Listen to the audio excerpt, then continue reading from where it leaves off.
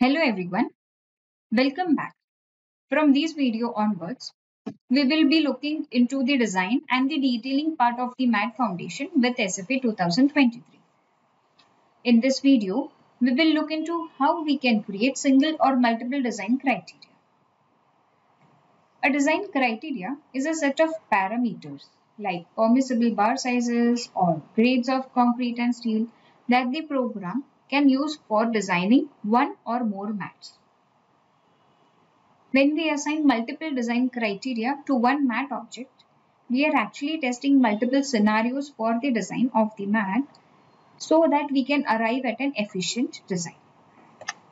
So let's begin with the actual workflow in the program. On the screen in this model, I have imported the STAAD model through the superstructure importing option in SFA. After importing the model, I have created the mat foundation and also created the thickened regions below individual columns. Now I am currently at a stage where the mat has already been analyzed and is ready for concrete design.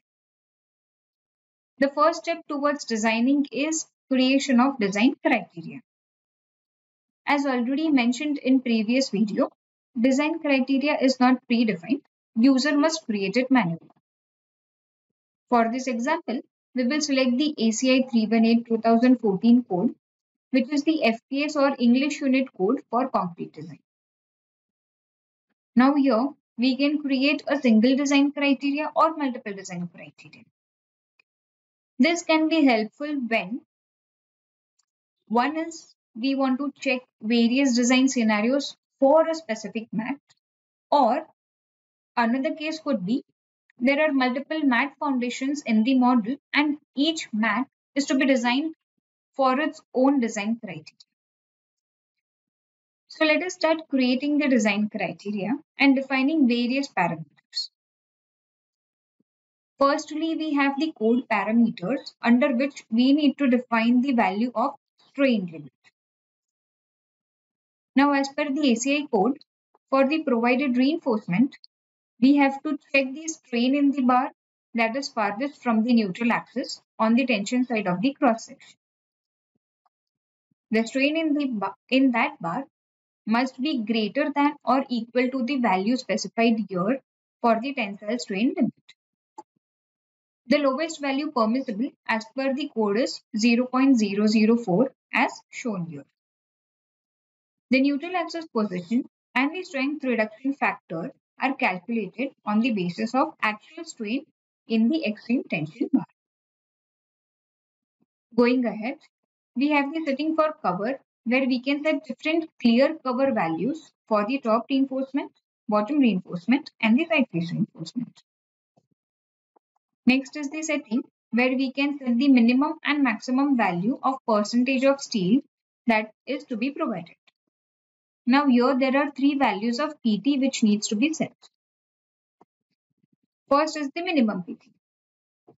The value that we enter here will be considered as the user defined limit of minimum PT whereas in addition to this value of minimum PT, the program also internally calculates the minimum PT as per the code mentioned criteria. The second is the nominal PT. This value of nominal PT will be used to determine the AST requirement in the areas where the bending moment is zero. In short, this is the minimum percentage of steel that needs to be provided in the compression or the stress-free areas. And just that in SFA 2023, it has been called as nominal PT. The third one is the temperature PT if the mat foundation is analyzed for temperature loads and also if it is subjected to exposure conditions where which requires the design to be done for temperature variations then we need to mention the PT under the temperature limit. Otherwise, the default value will be 0. Once we set the value of PT for all the three parameters in the program, the flexure design happens internally considering the PT from max of the PT minimum user defined value, comma, PT minimum as per the code guidelines, the PT nominal as defined or the PT temperature and final is the PT required for the flexure design. So there are five different AST requirement or the PT requirement that are being calculated internally and the final AST requirement that is determined is the max out of all these five values. Next, we jump forward to the design settings to be made for the one-way shear check. By default, the option to perform the one-way shear check is set as false. So, if we want to perform the one-way shear check, we need to set the option to true. Unlike a beam, a mat foundation is continuous on both the sides of the column. Thus, the width of the section to be used in computing the demand or the capacity in one-way shear is not readily known. In order for the program to use a well-defined value of the width, we need to specify a value for the term denoted as factor. For details of the procedure that is being used to calculate the width from this factor term, you can go through the video uh, whose link is provided in the description below. The effective width that is shown in the yellow line will be the width that will be considered while performing one-way shear check along the global x-axis. Similarly, the one shown in the blue line will be the width that will be considered while performing the one-way shear check along the global z direction. The next parameter to be set under one-way shear check is the method by which the shear stress is determined. Now to determine this value, the input of a term called calculation point spacing is to be provided to the program by the user. Now for understanding the methods, what is the difference between the methods by which the shear stress is determined? You can go through the video whose link has been provided in the description below. Next, we have the setting for punching shear check. The default setting for performing the check is true, but however, the flexibility to switch off or not perform this check is available if we select the option as false. The remaining setting to be made for punching shear check is we need to decide whether we want to consider the shear generated from the unbalanced bending moment in addition to the actual shear from the column itself. Based on this setting, the total shear force value for performing the punching shear check will be determined. This completes the setting which are related to design criteria. Next, we will go through the concrete and rebar settings which is this last step towards finalizing the design and the basis of detailing.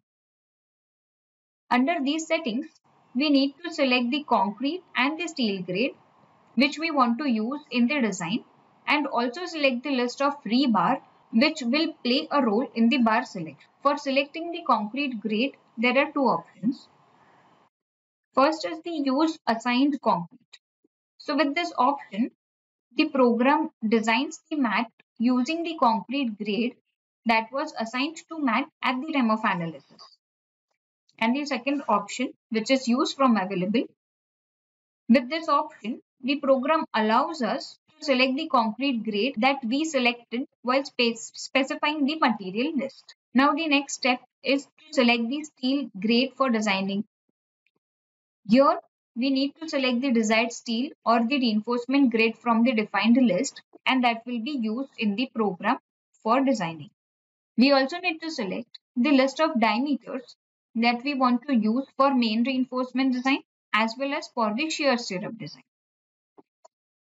We should select a bar diameter list from which the program will identify the optimum bar size for designing each face and each direction of the slab surfaces. The diameter list is separately available for the metric units and the English FPS units. With this, we conclude this video which covered defining the design criteria and the parameters that we can set within the design criteria. Thank you.